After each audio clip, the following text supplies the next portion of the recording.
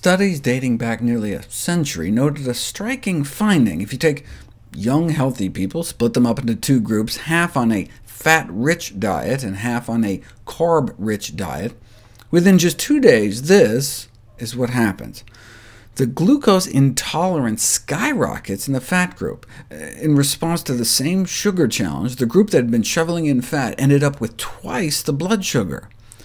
As the amount of fat in the diet goes up, so does our blood sugar spikes.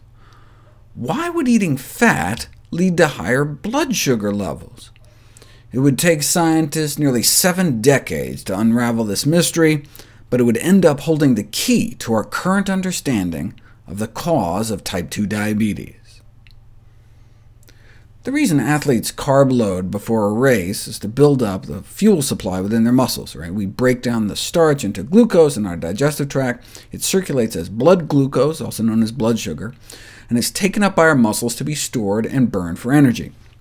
Blood sugar, though, is like a vampire. It needs an invitation to come into our cells, and that invitation is insulin. Here's a muscle cell. Here's some blood sugar outside, waiting patiently to come in. Insulin is the key that unlocks the door to let sugar in our blood enter the muscle cell. When insulin attaches to the insulin receptor, it activates an enzyme, which activates another enzyme, which activates two more enzymes, which finally activates glucose transport, which acts as a gateway for glucose to enter the cell. So insulin is the key that unlocks the door into our muscle cells. What if there was no insulin, though?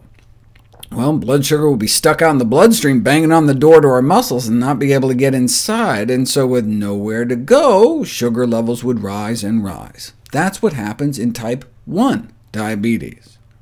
The cells in the pancreas that make insulin get destroyed, and without insulin, sugar in the blood can't get out of the blood into the muscles, and blood sugar rises. But there's a second way we could end up with high blood sugar.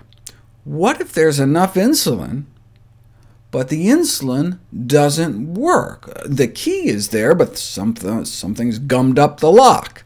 This is called insulin resistance. Our muscle cells become resistant to the effect of insulin. What's gumming up the door locks in our muscle cells, preventing insulin from letting sugar in? Fat. What's called intramyocellular lipid, fat inside our muscle cells.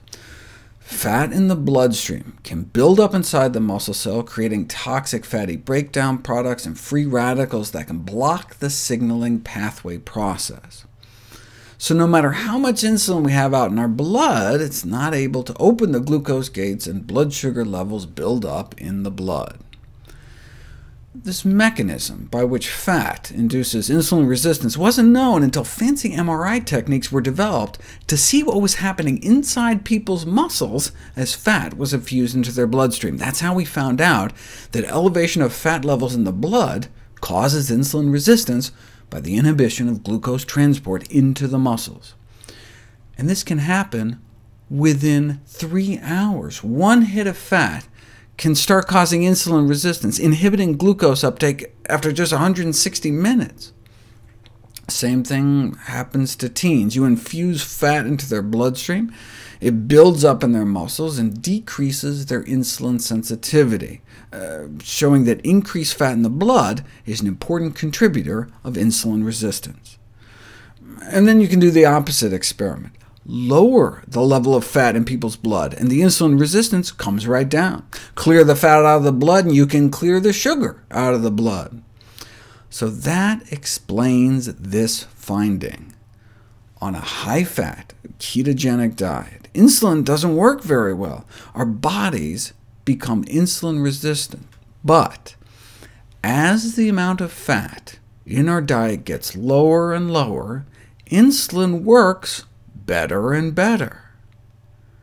This is a clear demonstration that the sugar tolerance of even healthy individuals can be impaired by administering a low-carb, high-fat diet, but we can decrease insulin resistance by decreasing fat intake.